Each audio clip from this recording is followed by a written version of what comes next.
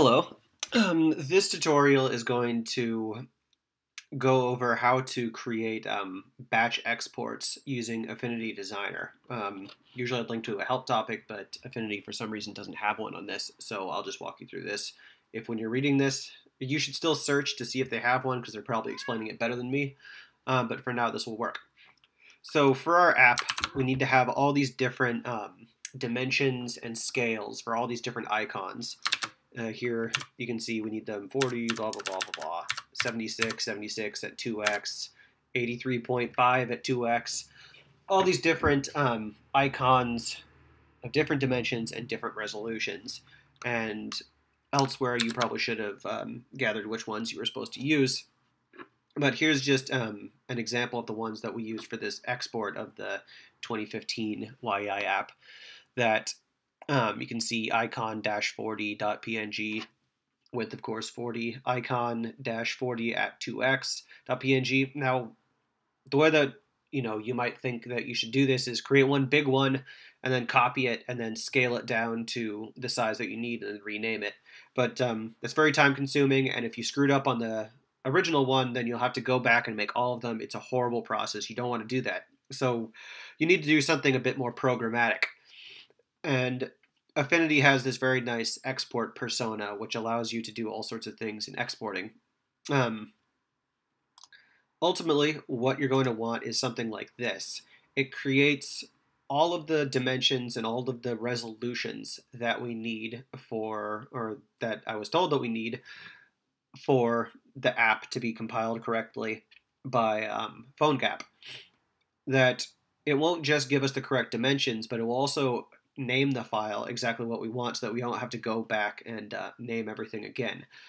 Um, it's always best to put some time into doing this and doing it right so that you don't have to ever put work into this again. It's uh, not repeating yourself. DRY, don't repeat yourself. So I'll just um, kill that and let's make a new one. Um, might as well erase that too. I'm going to go over to my layers, but um, I'm in the export persona. I'm going to go over to layers and just get the whole thing. I called it icon for obvious reasons and hit create slice.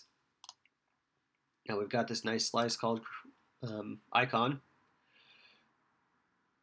You'll notice that it defaults to PNG 24 just because that's what I have on default.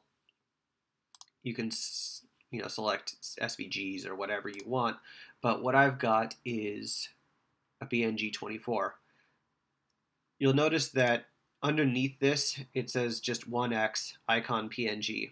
So this is where you can specify the dimensions and the resolution of the image that you want to export. And over here is where you can actually build a little script using tokens um, to name the thing properly.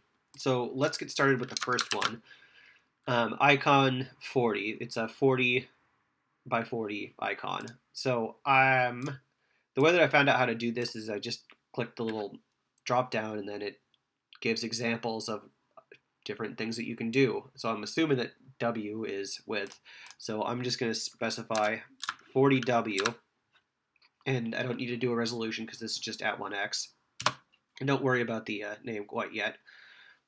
What's the next thing I need? I need an 80 by 80 icon and it has to be titled 40 at 2x. So this is a times 2 resolution. I'll just hit the plus icon, and it gives us a nut this saying that, okay, what's the second file you want to create from this thing? So I'll call it 40 again, comma, 2x. So this is telling it that it's going to export at the 2x resolution. So even though I say 40, it knows that it should just double that. And you'll see that that's a little different you want 83.5 at 2x.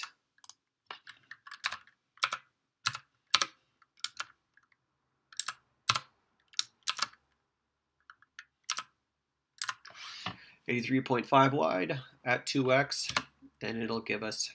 Uh, okay, that didn't work.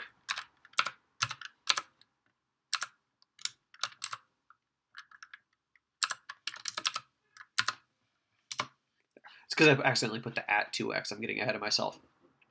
So I'm not going to go through all uh, 17 of these or whatever. Um, that's how you specify the dimensions and the resolution of the icon that you want.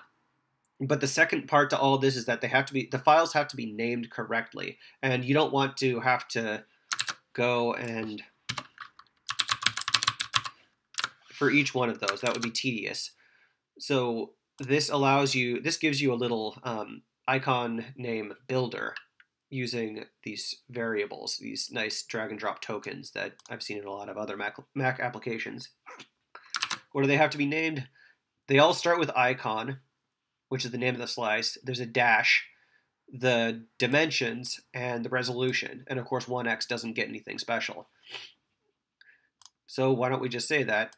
It's already got slice name. I'll insert a dash. I'll drag up this width token. So that'll give us 40 and scale suffix. And scale suffix only shows up if it's um, at 2, at 3, at 4, whatever. It doesn't show up if there's 1x because um, it's redundant information. I'm going to copy this because you have to add this to each one of them. Hit done. I'll do my second one.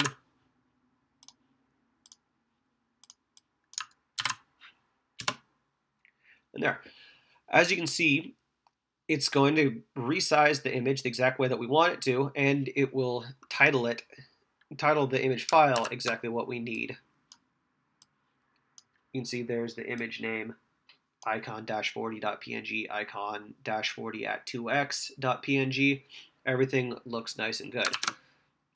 Um, the path is just saying give it a name of a folder. Where should it be dumped out to? Um, I want to keep it all in a folder by itself, so I'll just call it foo saying that it will create a folder called foo and then generate these three icons into it. I will just hit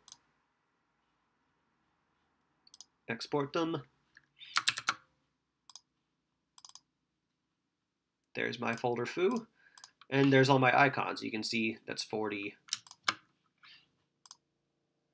80, 167 because it's reading the resolution.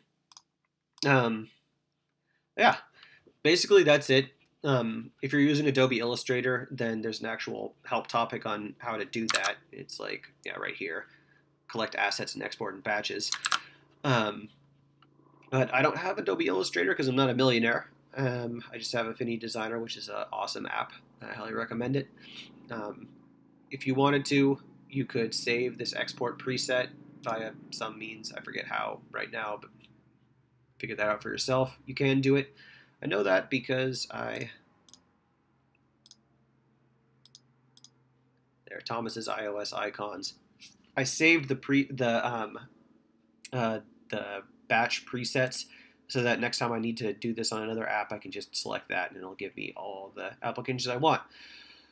Hopefully that was um, understandable. I just threw this together last minute, so happy coding.